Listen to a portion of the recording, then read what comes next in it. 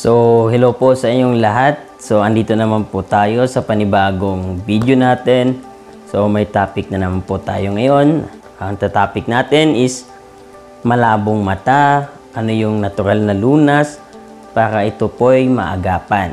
So, maraming mga tao ngayon ay halos nakatutok everyday sa computer o cellphones na nagdudulot ng tinatawag na digital eye strain.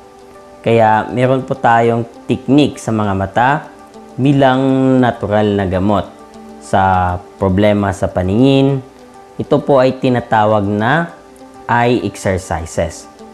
So, totoo po na nakakatulong ang eye exercises sa paggamot ng iilang problema sa panlalabo ng paningin. Katulad ng ibang muscles sa ating katawan, ang mga muscles sa mata ay kailangan din ng exercise. Kung hindi, ito ay manghihina ang mga muscle nito. Kaya't importante na aktibo ang mga muscles ng ating mata everyday.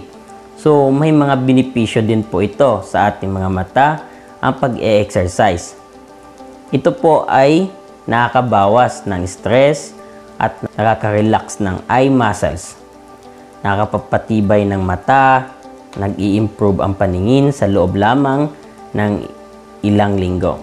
So, may mga exercise tayo tulad ng number one po is tinatawag na 20-20 rules. Ang 20-20 rules ay ang mata po ng tao hindi dapat nakatutok sa isang bagay ng matagalan. So halimbawa, kung nagtatrabaho ka gamit ang computer buong araw, nakatulong ang 20-20 rule para maiwasang mapagod ang mga mata na nagdudulot ng panlalabo. So, paano po ito gawin?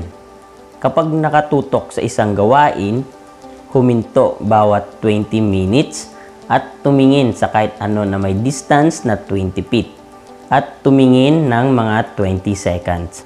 Ang next po ay pumikit-pikit mas madalang tayong pumikit kapag nakatutok tayo sa TV o computer screen. Kapag naka-feel ka ng panunuyo ng mata o nagsisimulang sumakit ang ulo, huminto at subukang pumikit-pikit ng konti. Ang sunod po ay pag-relax gamit ang palad. So ipikit ang mata at dahan-dahang takpan ang mga mata gamit ang palad. But make it sure na may puwang at hindi nakalapat ang palad sa mata. So, gawin po ito ng mga 30 seconds hanggat wala ka nang makitang natitirang image na huli mong nakita or larawan. Siguraduhin din na hindi dumikit ang palad sa mata at hindi ito idiin. Next po ay ilikot ang mga mata. Tumingin sa kanan at kaliwa ng ilang beses na hindi ginagalaw ang ulo.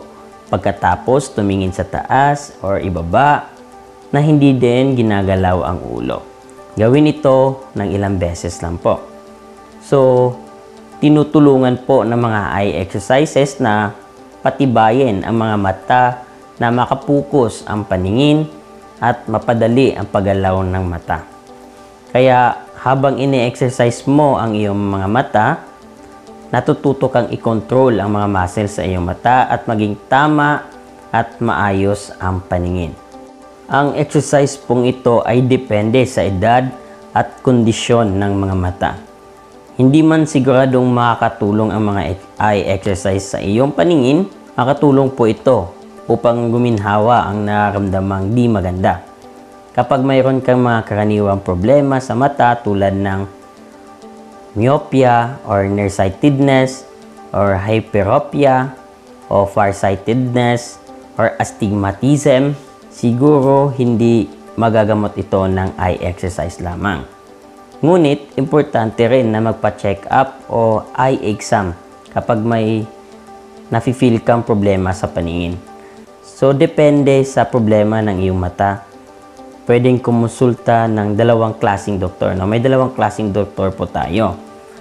Ito yung tinatawag natin na ophthalmologist at Yung isa po ay tinatawag na optometrist. Ang mga ophthalmologists ay mga doktor na espesyalista sa pag-alaga ng mga mata.